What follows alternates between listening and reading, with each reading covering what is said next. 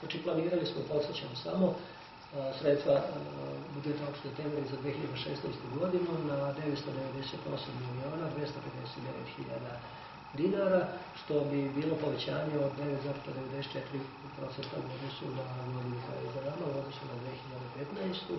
Mi smo svesni činjenice da je ozbiljan plan, imamo određene razloge zašto se rukovodimo tim modelom i taj uh, predlog budžeta je usvojen, kao što znate, potrebnim brojem glasova na uh, sedmici našeg lokalnog parlamenta, odnosno naše lokalne skupštine. Par važnih momenta, ja smatram važnih, uh, gde mi to planiramo da ostvarimo uštedu u narednoj godini, znate, ovo je vreme štednje, racionalizacije, tako život nas nagoni na takav jedan pristup, inače to je opšti trend u, državi, koji promoviše, da tako kažem, i diktira i republička vlada i mi naravno se trudimo da damo taj, da damo svoj doprinos na ovom nivou. I mi smo ovde država u malom, je tako. Najveće uštede koje mi planiramo u 2016. da ostvarimo u odnosu na 2015. se odnose na rashode za zaposlene, znači to bi bile plate, socijalne davanje zaposlene, putni troškovi i tako dalje, gde su planirana smanjenja za 3% u odnosu na 2015. 2015. u odnosu na 2014. je bila 10% manja. Zatim troškovi putovanja planiramo da ih smanjimo opet u odnosu na 2015. za 5%. Mislim da možemo te troškove da kontrolišemo. Zatim specializovane usluge, tu je planirano smanjenje za 60% u odnosu na 2015. Gospodin Birka je govorila što sve spada u tu kategoriju specializovanih usluga. Subvencije su planirane za 13% manje nego u odnosu na 2015. Zatim za nabavku kupovina, odnosno kupovinu mašina i opreme planirano sredstva za 16% u odnosu manju za 16% manje u odnosu na 2015. godinu. Nadamo se da ćemo u tome uspeti, da ćemo ove planove ostvariti i time ćemo znači, uh, ostvariti, da tako kažem, i, i našu viziju i nameru da budžet za 2016. godinu bude pre svega razvojni, kako smo ga mi i promovisali i najavljivali, gde će 30, otprilike oko 33%, oko jedne trećine budžetskih sredstava biti planirano za kapitalne projekte. Ja ću sad da navedem neke od tih projekata, da podsjetim. Ono što smo planirali kao kapitalne investicije, to će biti rekonstrukcija objekta mesta zajednice u Bačkom Jarku, već je započeta rekonstrukcija ove godine izvršena sanacija krova. Zatim izgradnja terena za sport i rekreaciju u Starom Đurđevu. Moram da napomenem da smo u ovoj godini koja je za nama malo manje ulagali u mesnoj zajednici Staro Đurđevo. Svesno smo to uradili, rukovoditi se sa znanjem da nam je mesna zajednica Staro Đurđevo, nadam se da ćemo se složiti i sa vama i sa našim sograđanima najuređenija mesna zajednica i treba je kao takvu i očuvati svakako. Tako? U narednoj godini planiramo da se malo intenzivnije bavimo i tom našom mesnom zajednicom. Zatim izrada idejnog projekta zamene kotlova kao izrada sertifikata za energetsku efikasnost u preškolskoj ustanovi Venko Vlaković. To je nešto što je opšti trend, radi se znači, na smanjenju troškova grejanja i hlađenja. Izgradnja, odnosno nastavak izgradnje objekta vrtića u Sirigu. To je investicija koja je započeta 2007-2008.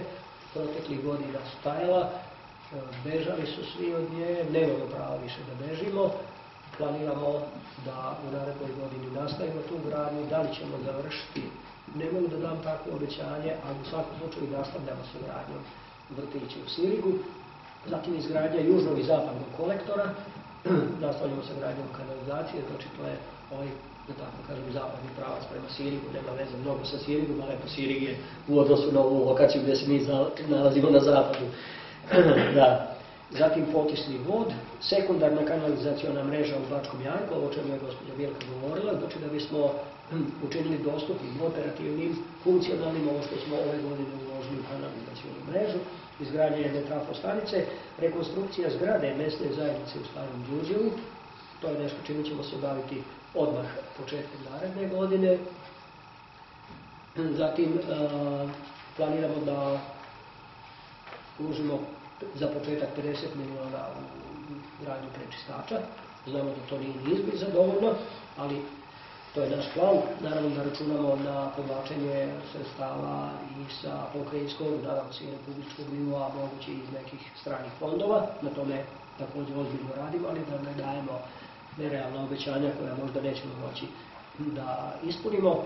Kao što je već rečeno, e, nastavak gradnje kapele na zapadnom groblju, također je o tome bilo reči i parking prostora e, u kompleksu groblja, zagovaramo o zapadnom groblju, zatarske puteve planiramo 15 milijuna da ima i ove godine, kapitalno održavanje lokalnih puteva i trotoara 25 milijuna, tu će se malo više govoriti o Starom Đurđevu, planirana je rekonstrukcija pešačke staze u Starom Đurđevu, postavljanje kandelabera na određenim lokacijama, rekonstrukcija krova prve mesne zajednice, također nešto čime se valja baviti, bilo je potrebe i u prethodnim godinama, nije bilo dovoljno saglasja, ove godine, znači ozbiljno se posvećujemo rekonstrukciji zgrade prve mesne zajednice i izrada projektne dokumentacije Doma kulture u Sirigu, zatim još jedan projekat koji smo davno započeli, za ovu godinu smo obećali, nismo uspjeli, to je u Bačkom jarku Kava. Rekonstrukcija ambulante u Bačkom jarku, je o tome govorio, ta javna nabavka je praktično obnovljena, ponovo aktivirana i sve bi potpisivanje ugovora podizanje nasipa na obudu deponije, naše lokalne, tu smo dostigli određeni maksimum, da tako kažem, dobili smo potrebne saglasnosti, ne možemo da podignemo taj nasip i da još za izvesno vreme optimalne uslove za bezbedno odlaganje smeća, nabavka autosmećara, javna nabavka, bilo je reči, gospođa Milka to je govorila, planiramo za ovu godinu, nije uspela, ne zbog nas, prosto nije bilo zainteresovanih dobavljača, ponovit ćemo je u najkraćem mogućem roku, nadamo se da će biti uspešna. Zatim nabavka autodizalica o kojoj je također bilo reči, ova dva koordinatora, kako ih ne zovemo, u Sirigu i u Bačkom Jarku, u temeljima je ove godine urađen. To je ta nova tehnologija o kojoj je gospođa Mirka govorila. Što se tiče pribavljanja zemljišta, tu također imamo određene planove, bit ću obazriv, još uvijek. Nadam se da će uskoro uslediti vreme kada ta doza obazrivosti više neće biti potrebna. To je da ćemo svakako da krenemo u otkup zemljišta za, počet ovako, u otkup zemljišta za novo groblje u Temerinu koje se predviđa planu generalne regulacije, nadam se da će ovaj skuptinski savjet biti u prilici da usvoji taj plan generalne regulacije naselja Temerin. Znači, predviđa se na izlazu iz Temerina prema Bečeju sa leve strane. Zatim, da se pribavi određena manja parcela na groblju u Starom Đurđevu, tamo imamo već kronično problem, ja tako. Što se tiče groblje u Starom Đurđevu, da napomenem i to, mislim da to naši sugrađani treba da znaju u Starom Đurđevu, da se planira e, sanacija ovog platova ispred e, kapele na groblju u Starom Đurđevu, znači u pravom smislu reči sanacija, znamo oni koji odlazimo tamo, znamo da je taj plato u lošem stanju i izgradnje nastrešnice, Zatim, e, pribavljanje zemljišta, ovo će biti posebno interesantno, bilo je nagoveštaja, još uvijek ne možemo sa sigurnošću da tvrdimo, ali mislim da smo na dobrom putu kao lokalna samouprava za kupovinu zemljišta za gradnju pravoslavne crkve u Temerinu.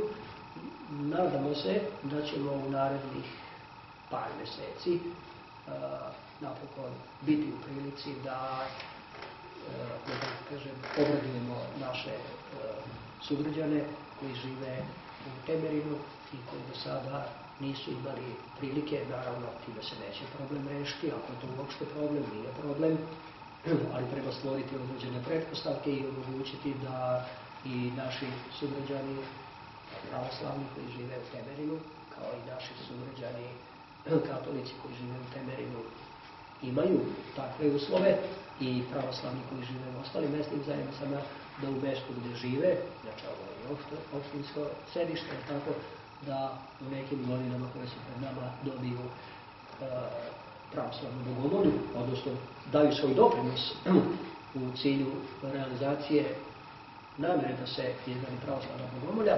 I ja ću završiti sljedećim da smo, to je u završnoj fazi, u pripremnoj još uvijek, ali u završnoj fazi priprema javne nabavke za pribavljanje idejnog rješenja za pešačku zonu u Temerinu.